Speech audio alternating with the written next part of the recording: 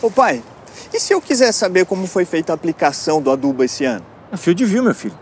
E se eu quiser fazer um plantio com taxa variável para otimizar o uso de semente? É fio de Rafa. E se eu quiser acompanhar a operação do dia a dia e estiver viajando? Fio de na nuvem. Tá tudo conectado. Então, se ele faz tudo, será que ele passa um cafezinho também? É, vamos lá pegar um café, vai. Com fio de é assim, você conecta e evolui.